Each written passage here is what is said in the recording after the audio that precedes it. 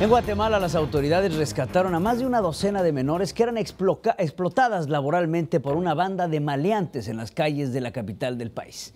Gabriela Porras nos tiene la historia. Adelante, Gabriela.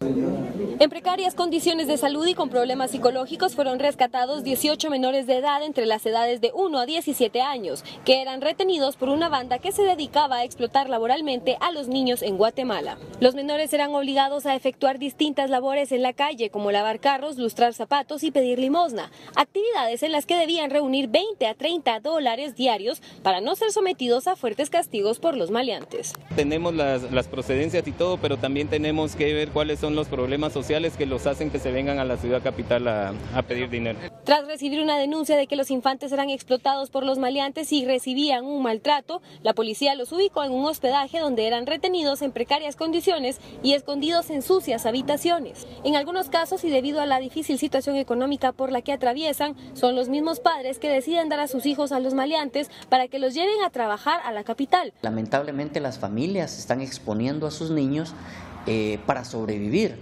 Entonces tenemos que tomar decisiones mucho más fuertes. Varios de los niños rescatados presentaban severos problemas de salud debido a las condiciones en las que eran retenidos por los maleantes. Desde Guatemala para Noticiero Estrella TV, Gabriela Porras.